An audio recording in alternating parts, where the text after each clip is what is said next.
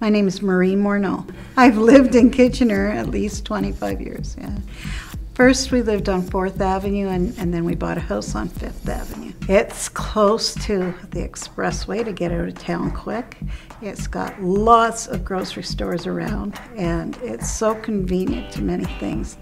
And this community center is a great center, and it has so much to offer the community. I am the Kingsdale Neighborhood Association Secretary. I've been doing that for the, the last little while. And I also teach sewing here. And of course, teaching sewing is, is always one of the highlights for me because I enjoy seeing people develop from not even knowing how to turn their machine on, how to oil it, how to clean it, how to thread it, how to even sew articles, and then all of a sudden they've made something and they're so excited. This lady named Teresa she had joined my sewing group when we were in the portables, and and she came back with both her daughters and did it five times. And I do see her occasionally in the halls here at Kingsdale, and I always get a big hug and kiss from her.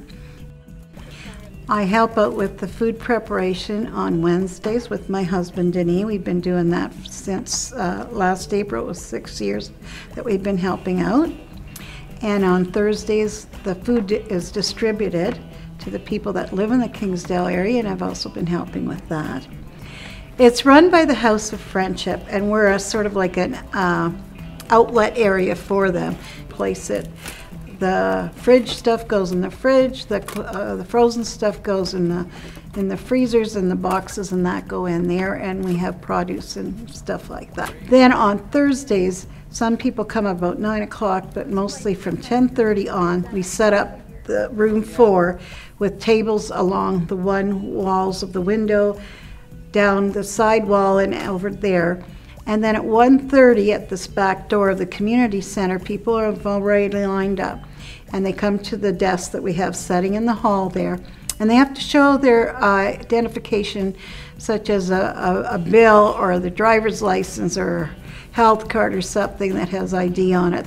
And then we have, every place has different type of uh, produce on it or canned goods or frozen or fridge stuff.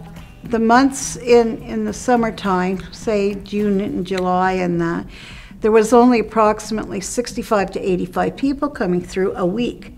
But in the last several months, we've had over 100 people every week coming in for food. There is that much demand for it. I, I, myself am a client because I'm on a low pension, and before that, I was on ODSP with my husband. So you're limited as to your income, and I tell you, to me, it's it's a big help, a big handout that is really, to me, is gratefully accepted and helps you live a little more decent life. And it's my way of giving back to the community. That's what I feel inside my heart.